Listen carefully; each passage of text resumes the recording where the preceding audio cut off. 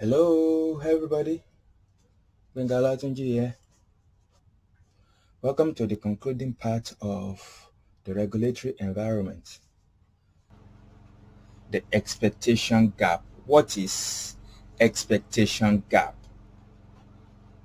Expectation gap, simply put, is the difference between what the person or the clients that engage the service of an auditor expects or thought he or she or the organization will get by engaging the work or by engaging the auditor.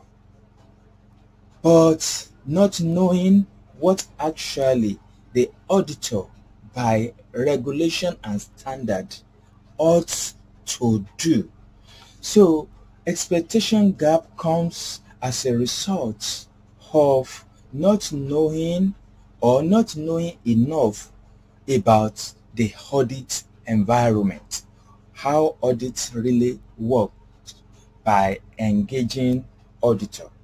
So when somebody engage the service of a practitioner and do not know enough about what the practitioner supposed to do by virtue of training, by virtue of qualification, by virtue of standard in which the auditor is operating within. Then we will say there is an expectation gap.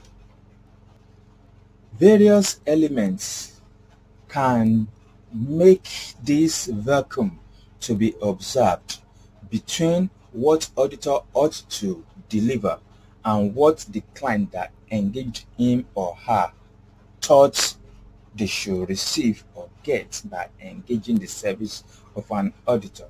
And basically, we break it into three types. The elements are broken into three parts that could cause expectation gap to arise. Fundamentally, it could be a standard gap we have also a performance gap and we have also a liability gap. So the gap could be caused by standard, it could be as a result of performance, and it could be a liability gap. So we take them one after the other. What is a standard gap? What is a standard gap?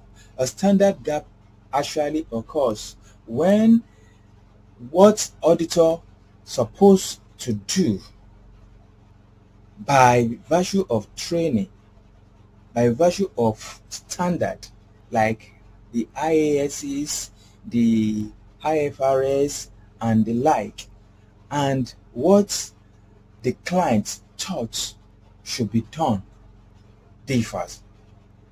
So that is a standard gap. The performance gap happens when the client thought or observed that the auditor has performed below expectation in form of delivery and this is actually a peculiar one because this is an area of expectation gap in which if truly the client that engage our service is able to actually prove that we perform poorly in delivery, it could lead to serious liability. It could lead to serious liability when performance gap is actually proven to be correct in the court of law. The last of the liability, the last of the expectation gap rather, is the liability gap. And this comes up as a result of when somebody believes that auditor is responsible to to them whereas auditor may not be liable to them by reason of law so that is liability gap.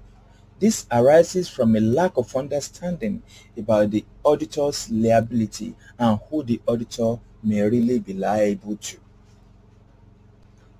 Among the three gaps that we just discussed, paramount attention must be paid to performance gap because it could lead to either criminal professional liability or civil liability. These are the types of liability that auditor could have. It could be criminal in nature and it could be civil in nature. So among the three, paramount attention must be paid to the performance gap and as much as possible, auditor must ensure that is actually closed up.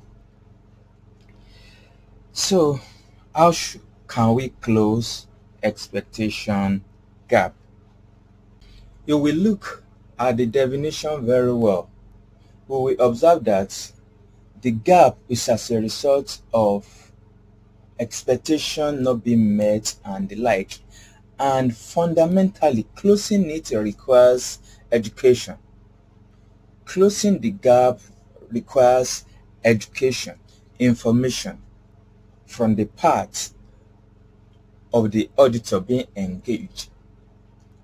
Also from the part of the professional body. Education, enlightenment is required. So on the part of the auditor, auditor from the onset must educate the client about what to expect and what audit is meant for and what audit will look at, what audit is not. And the medium of this enlightenment given to the client is using the vehicle of management letter.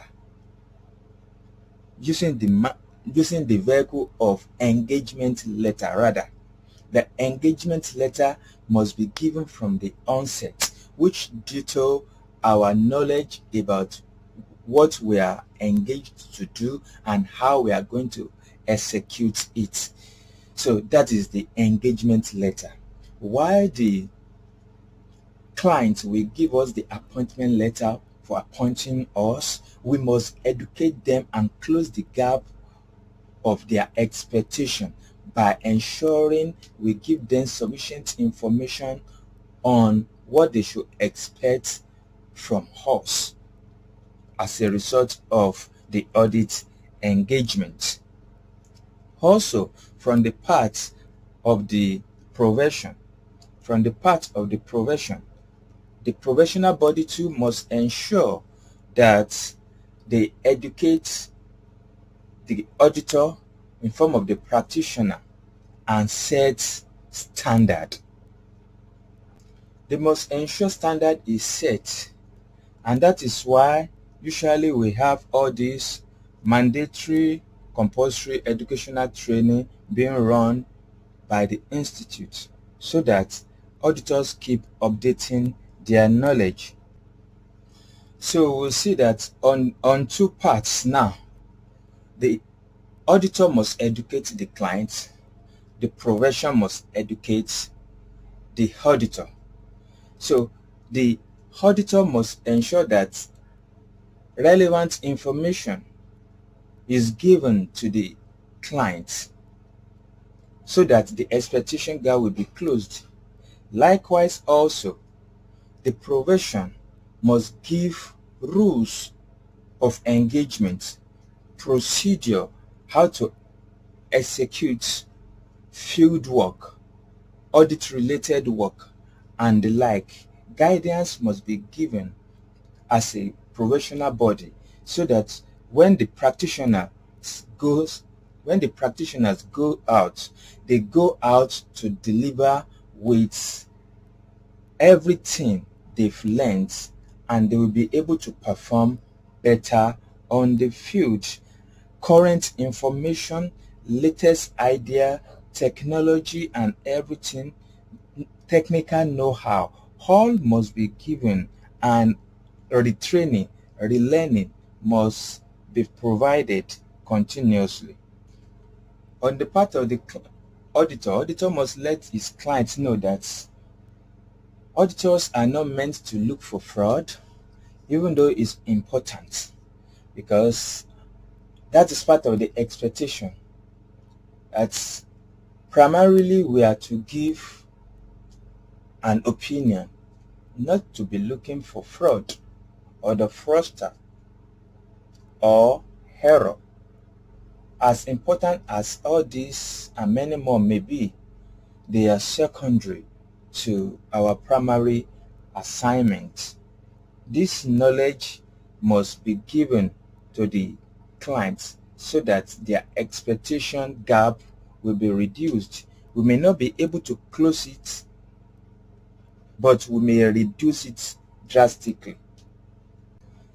And now that I mentioned something about fraud, let's quickly look at what fraud is and what error is. Basically, the difference between fraud and error is intention. So when somebody intended or intentionally do something or use something wrongly, it becomes fraudulent.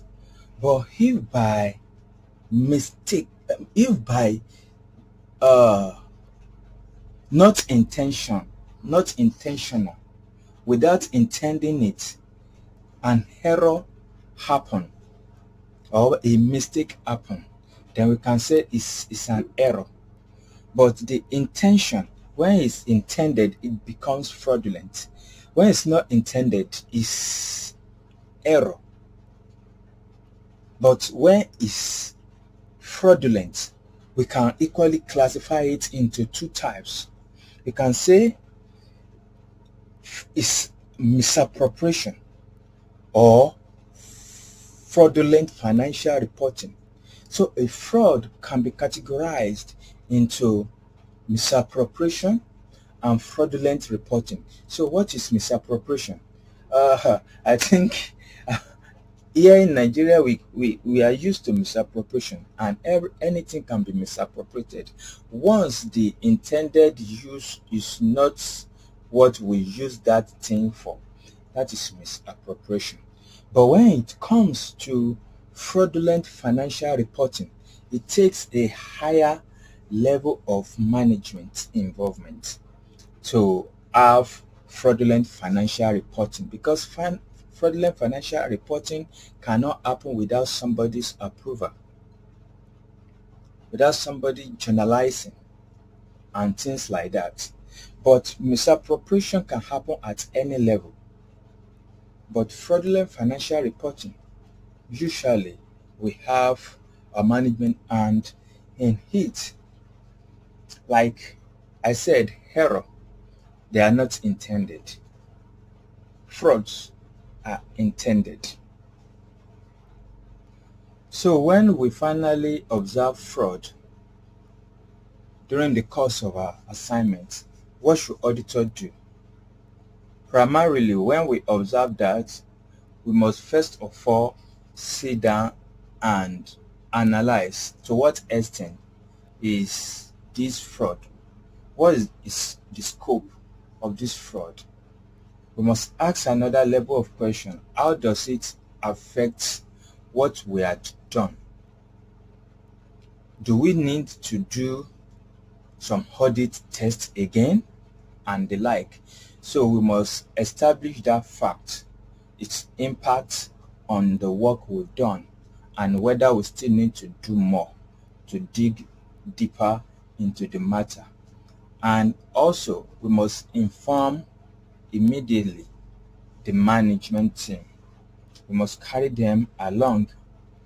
And also, we must decide whether we will need to qualify our report if we conclude that the impact is large on the financial statement being audited, we may need to qualify our report.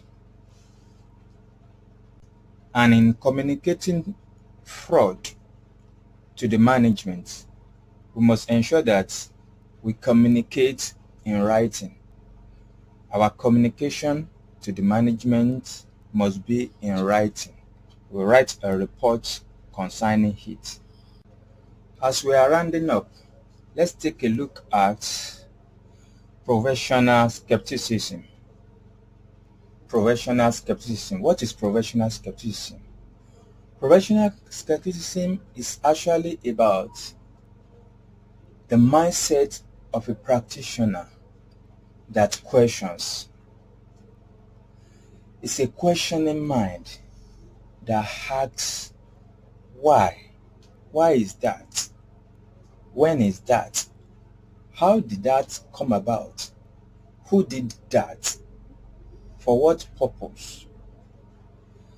So professional ma mindsets is should be skeptical about processes to know why something is done and why something is not done. It's not a mindset of disbelief, but it's a mindset that questions. And in questioning, we seek answer. Answer to improve processes. Answer to improve performance. And based on the answer that we get, we are able to propose better processes, amendments, and serve our clients better. So that is professional skepticism. So when auditor comes into the organization and they are asking, why? Give me this. I want evidence of this and this. It's all about the mindset, a trained mindset that asks questions to validate and put reliability upon a piece of information. So for this regulatory environment video, we'll take a look at the regulatory environment and the work of the regulators like the NSA, ISA, IFAC, IASB, ICAN, FRC, and what they do. How we should communicate to those charged with governance, the divorce of power between the management and the ownership of the organization. We've discussed using the work of an expert and we say expert could be auditors experts or management experts. We've taken a look at the meaning of governance and the responsibility of the directors, the responsibility of the auditor, the responsibility of audit committee, composition of audit committee, what they should do, the maximum limit of audit committee, their function, the oversight function. We've looked at the expectation gap. We've looked at responsibility of the auditor, even as to fraud. We've defined what fraud is. We've defined what an error is. We've taken a look at expectation gap and how to close it, the types of expectation gap, the liability gap, the standard gap, and the performance gap. And we've looked at professional skepticism as the mindset that questions. It's not a mindset of disbelief. On this note, Benga Latunji, I will be signing off. Please don't forget to like us, subscribe to us, and click the notification button so that you can continue to be notified anytime that we are dropping a new video.